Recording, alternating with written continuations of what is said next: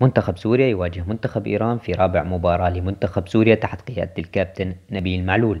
منتخب سوريا في اختبار صعب جدا أمام المنتخب الإيراني العنيد المنتخب الإيراني القوي المنتخب الإيراني اللي بيلعب بشكل هجومي. وبطبيعة الحال المنتخب السوري مطالب بتحقيق نتيجة إيجابية لإرضاء الشارع الرياضي السوري.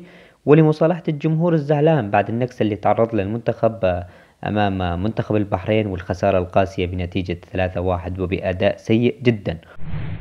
موعد مباراة منتخب سوريا ومنتخب إيران باليوم والساعة والقنوات الناقلة للمباراة. أهمية مباراة منتخب سوريا ومنتخب إيران تصنيف المنتخب السوري والمنتخب الإيراني عالميا وآسيويا.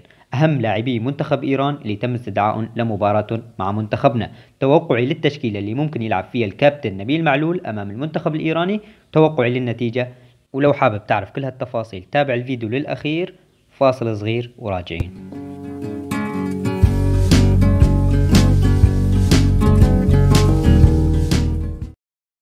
السلام عليكم متابعين قناة رياضي سوري. أهلا وسهلا فيكم بفيديو جديد. وبفيديو اليوم أول شيء راح نحكي عنه هو موعد مباراة منتخب سوريا ومنتخب إيران باليوم والساعة والقنوات الناقلة للمباراة.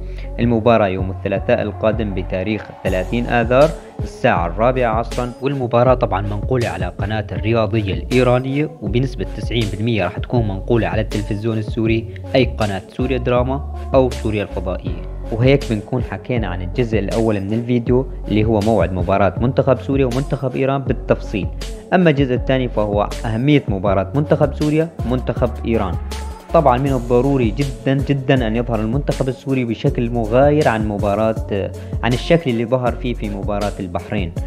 بتوقع المدرب نبيل معلول يغير من أفكاره بهي المباراة يغير من خططه وبيلعب بطريقة دفاعية أكثر من اللي لعبها بمباراة البحرين. مباراة البحرين كان اللعب فيها مفتوح والمباراة مهمة كتير بالنسبة لمنتخب سوريا لسببين. السبب الأول إنه المنتخب لازم يحافظ على تصنيفه العالمي ما بدنا نهبط بشكل ملحوظ على التصنيف العالمي والسبب الثاني لحتى يرجع الثقة للاعبين لحتى يكون عربون صلحة بين اللاعبين والمدرب من جهة والجماهير السورية من جهة أخرى. الجماهير السورية بحب غاضبة جدا من أداء المنتخب مع البحرين. الجماهير السورية الكثير منها غير راضي عن أداء المدرب ولا أداء اللاعبين.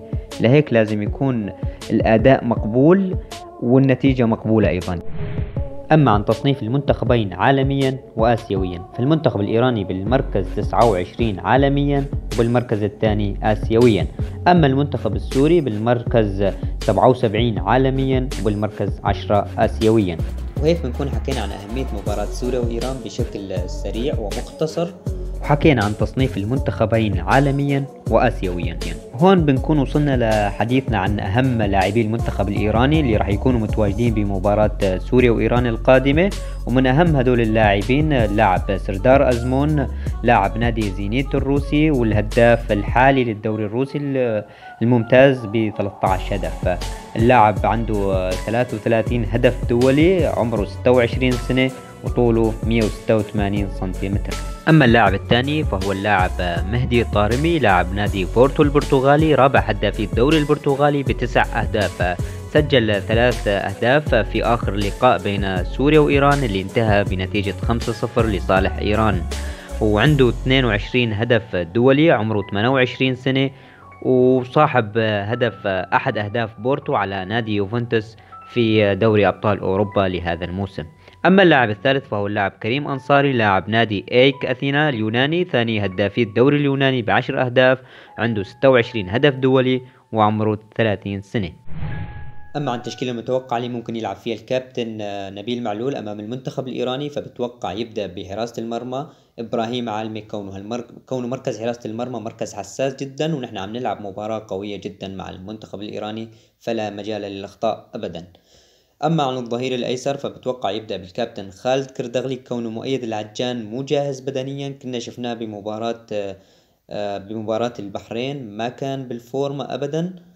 فبتوقع الكابتن خالد كردغلي ظهير أيسر.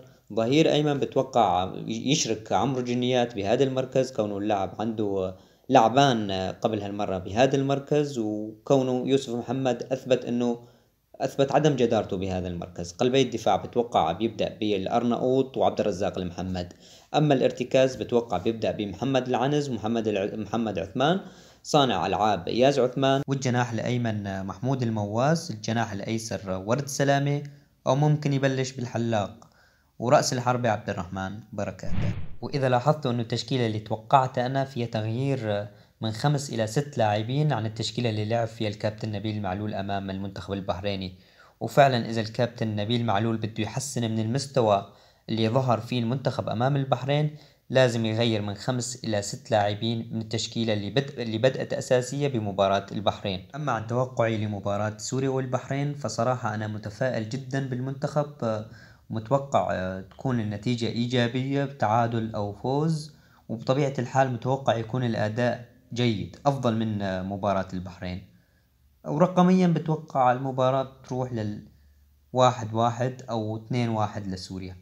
ويا ريت أنتم كمان تكتبوا لي توقعكم للتشكيلة اللي ممكن يبدأ فيها الكابتن نبيل معلول بمباراة إيران وعن نتيجة مباراة سوريا وإيران بالتعليقات. وهون بنكون وصلنا لنهاية هذا الفيديو. بتمنى تكونوا استمتعتوا بالفيديو وبنلتقي بفيديوهات قادمة. والسلام عليكم ورحمة الله وبركاته.